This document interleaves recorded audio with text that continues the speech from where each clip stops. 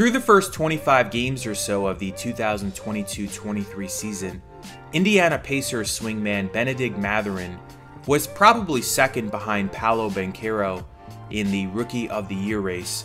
He ended up finishing fourth for that award behind Paolo, Jalen Williams, and Walker Kessler. Mathurin also came in eighth for the Sixth Man of the Year award, which was won by Malcolm Brogdon. For the season, Mathurin took the third most shots among all rookies and shot 43.4% overall and 32.3% from three point range. As the season went on, his efficiency really fell, particularly from long range. In eight October games, he shot a shade under 43% from three point distance, and in 13 November games, he shot 38.6%. But in December, January, February, and March combined, he shot just 26.4% from downtown. Among all players who took at least 100 threes during that time period, that was the second worst percentage. Interestingly enough, only his Pacers teammate Jalen Smith shot it worse at 25%. So, what did Mathurin do well throughout the year and what must improve? Well, let's start with his number one strength, and that's his ability to finish through contact at an extremely high level. What's interesting is that initiating contact is also Banchero's number one strength, which I highlighted in the video I did on him recently. Mathurin had 54 and-ones throughout the year, 13th most in the entire league. As you can see from these clips, he's super strong, especially for someone that was just 20 years old during the season. He drew 222 shooting fouls, which was also 13th most in the league.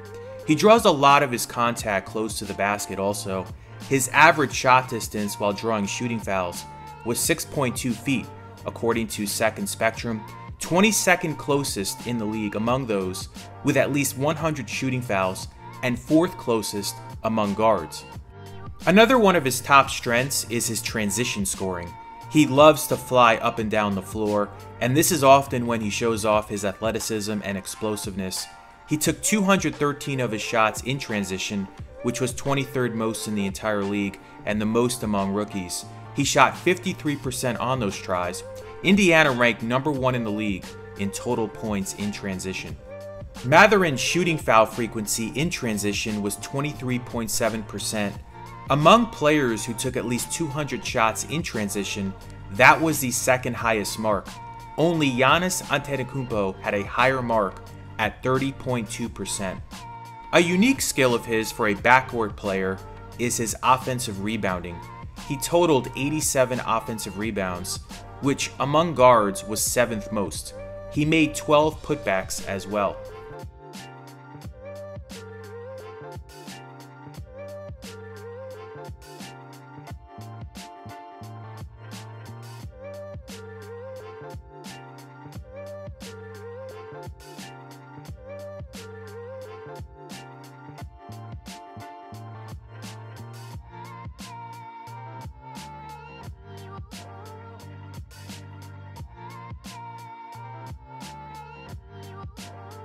Also different about Mathurin is that he shoots threes a little better off the dribble than he does off the catch.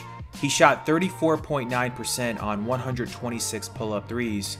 He's got some good variation too. He's got the shake and raise, the step back, and the more standard pull-up all in his repertoire.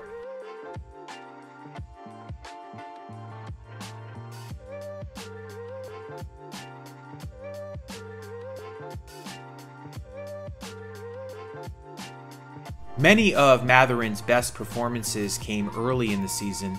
For instance, he erupted for 30 points on November 9th against Denver. In that game, he shot 10 of 17 from the field overall, 6 of 9 from three point range, and 4 of 6 from the free throw line. In reviewing this game, I saw a lot of variety.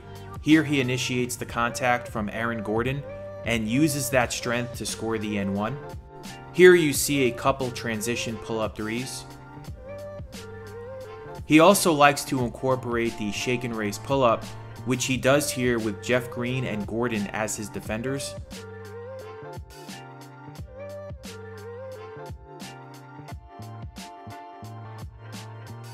Here he flies down the floor on the break and slams it home.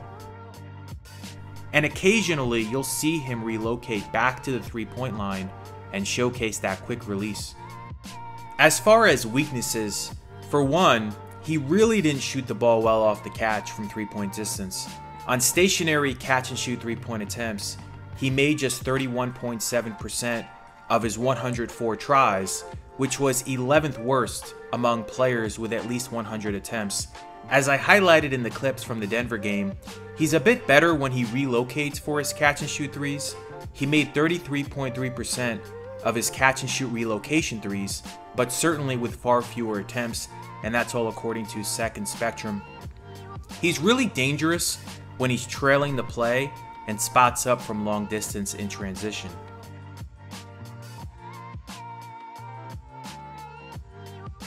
While very aggressive attacking the hoop, he doesn't have great touch and he can get wild. Mathurin took 305 driving layups during the year, but only shot 45.9% on them, which was the worst percentage in the league among those with at least 300 attempts, and second worst among those with at least 200 attempts, according to Second Spectrum. Only Lu Dort had a worse percentage. Mathurin also really struggled with his floater, even though he took over 100 of them, he only shot 41.7% on driving floaters, the sixth worst mark among those who took at least 100 of them per second spectrum. In case you're curious, the player who had the worst mark with a minimum of 100 attempts was Keldon Johnson, who made just 34.8% of his driving floaters. Also interesting about Mathurin is that he has a tendency to take his floaters from a bit of a further distance. The average shot distance on his floaters was 10.2 feet, according to Second Spectrum, which was the sixth furthest distance among those with at least 100 attempts. Tyus Jones had the furthest distance at 10.8 feet. Another thing I noticed is that he gets blocked a lot. Uh, the data backs that up as well, as he got rejected 84 times, eighth most in the league. Defensively, the Pacers were really poor all year. In fact, they ranked in the bottom 10 in opponent points in the paint, opponent fast break points, opponent second chance points, and opponent points off turnovers. Mathurin had some okay flashes defensively, but it remains to be seen how much impact he will make on this end as he develops.